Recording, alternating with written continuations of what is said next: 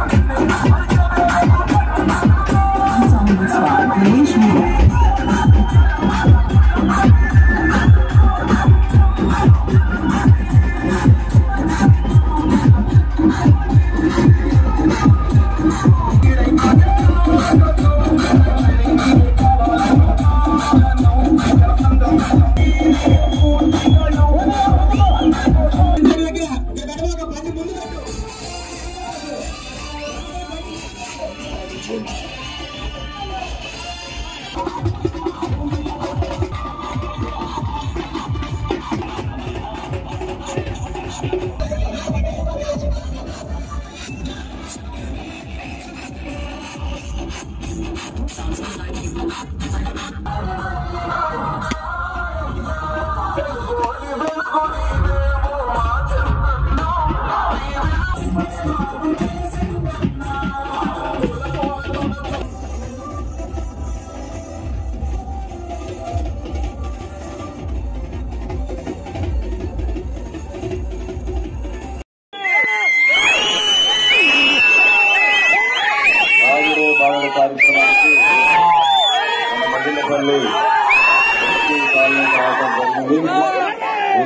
కార్యక్రమానికి ముఖ్య అతిథిగా మన పశ్చిమ ప్రాంత ప్రాణదాత పెద్ద ఆయన డాక్టర్ మన్నే రవీంద్ర గారు.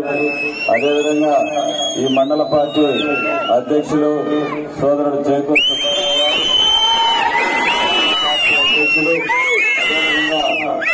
వచ్చినటువంటి సీనియర్ తెలుగుదేశం పార్టీ నాయకులందరూ కూడా మా విధంగా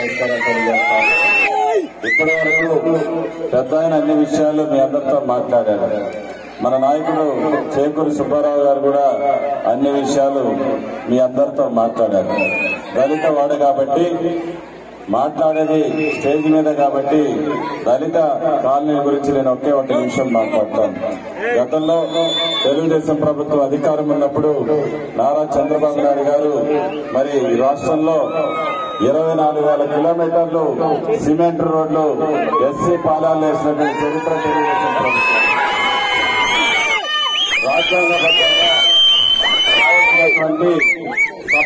నిధులన్నీ తెలుగుదేశం ప్రభుత్వం అధికారంలో ఉన్నప్పుడు వేల కోట్ల రూపాయలు సప్లై నిధులను తెచ్చి మనకి ఎస్సీ కార్పొరేషన్స్ ద్వారా మరి అనేక లోన్లు ఇచ్చి దళిత వాడలందరికీ మరి మన సహాయం చేసినటువంటి పరిస్థితులు. అదే కాదు దళిత వాడల్లో మరి సైడ్ కాలం నిర్మాణం ఎల్ఈడి బల్బుల పథకం మరి రెండు వందల యూనిట్ల వరకు ఉచిత విద్యుత్ ఇచ్చినటువంటి చరిత్ర తెలుగుదేశం పార్టీ పిల్లలకి పెళ్ళిళ్ళు జరుగుతూ ఉంటే చంద్రన్న పెళ్ళి కానుకని నలభై వేల రూపాయలు వచ్చి పెళ్ళి పెండర్లు ఇచ్చినటువంటి చరిత్ర తెలుగుదేశం పార్టీకి ఇంకా మన పిల్లలు డబ్బున్న వారితో సమానంగా చదువుకోవాలని అంబేద్కర్ ఓవర్సీస్ పథకం ద్వారా విదేశాల్లో పదిహేను లక్షల రూపాయల వరకు డబ్బులు పెట్టి మన బిడ్డలను చదివించినటువంటి చరిత్ర Telugu Desam party. Corporate high school కాలేజీల్లో మన పిల్లలందరినీ చదివించినటువంటి చరిత్ర తెలుగుదేశం పార్టీది మన నాయకుడు నారా చంద్రబాబు నాయుడు గారు.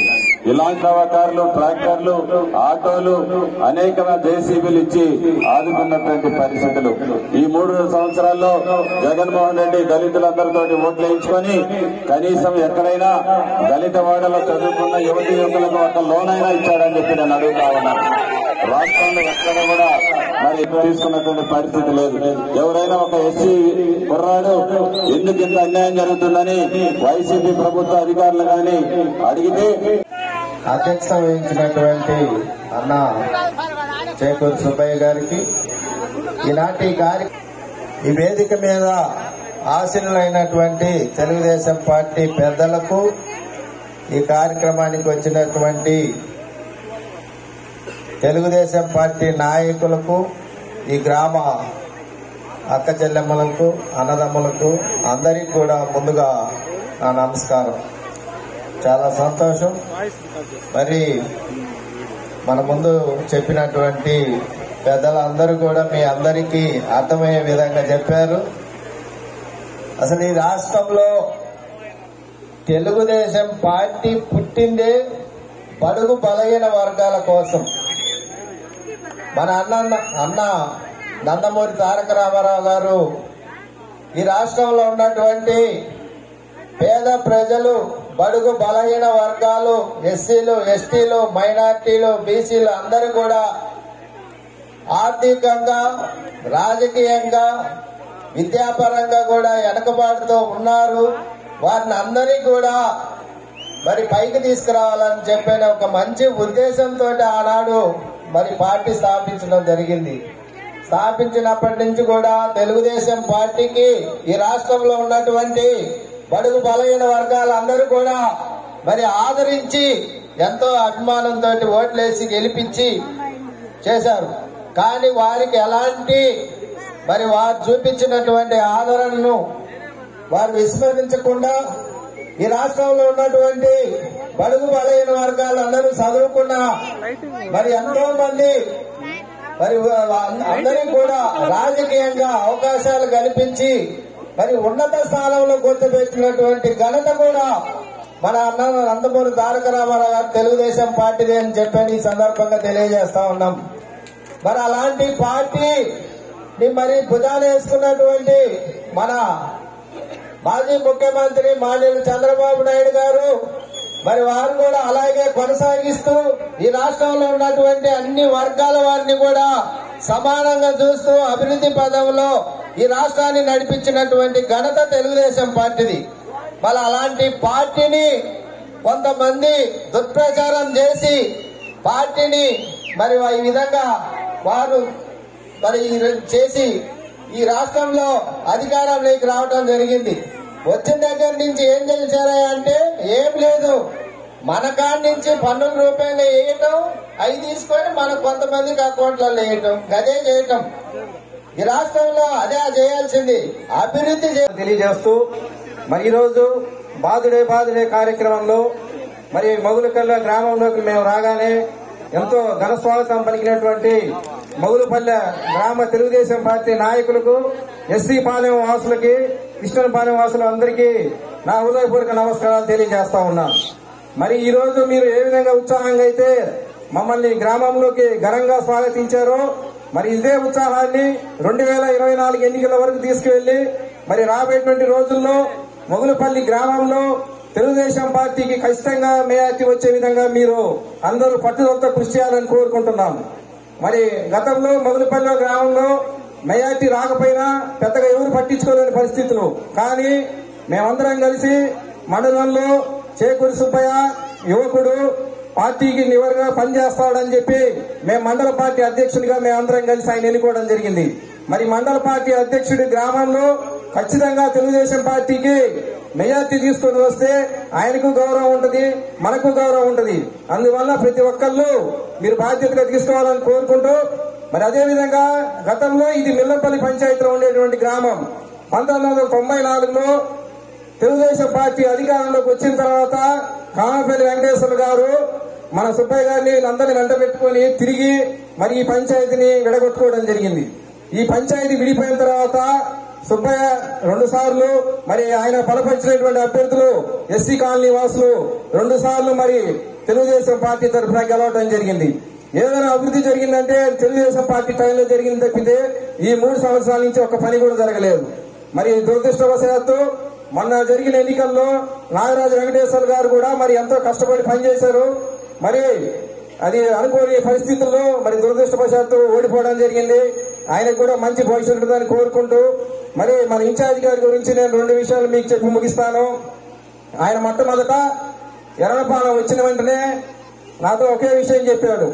నేను ఈ ప్రాంతంలో రాజకీయాలు చేసి ఈ ప్రాంతంలో డబ్బులు సంపాదించుకొని ఈ ప్రాంతంలో అనేక విధాలుగా అన్ని కార్యక్రమాలు చేయాల్సిన అవసరం నాకు లేదు.